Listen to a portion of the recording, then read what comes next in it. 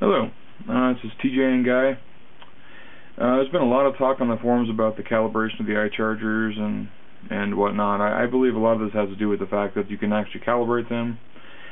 Uh, all electronic devices will wander over time. Anyways, this is going to be a little video to show you uh, kind of a way to check your charger. Um, people are never sure if their charger's calibrated or not, simply because either don't have a good multimeter or the one pack with a low cell, they're not sure if there's something wrong with the pack or something wrong with the charger. So uh, this is going to be a little demonstration on how to like check that. Uh, we'll start off, we'll power up the iCharger here, and we're going to go into the monitor mode screen, the voltages, and we're going to do it with two 3S packs. Okay, now these are both uncharged, they're different voltages and stuff like that, it doesn't matter.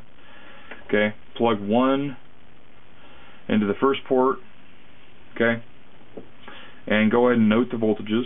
So we have 3.80, 3.80, 3.80, okay, and plug the second one into the second 3S serial port.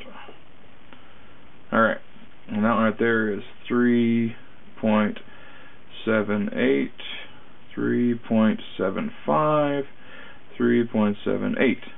Now, um, what we do now is we simply switch them. Take this battery, put it over here, plug this one into the first port, write down its voltages. Okay, we've got 3.79, 3.75, 3.78, and plug this one into the second port. And this one says 3.80, 3.80, 3.80.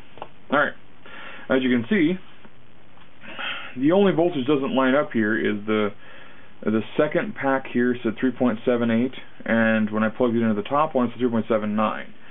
But since the other pack, 3.80, is the same in both places, I'm assuming that's just a very minor difference. Um, in other words, it's it's a rounding error, I'm assuming, in the charger. Since the charger measures it out to thousands, and we're just showing hundredths here, um, that's all there is to it. Anyways, if you've got a bad if you've got a cell that's low, you think on here, um, through one through six cells, two 3S packs is an easy way to at least check it, make sure uh, it's you know figure out if it's whether it's the charger's reading low on like both packs or if it's actually a, a pack problem. Um, hope that helps. Bye.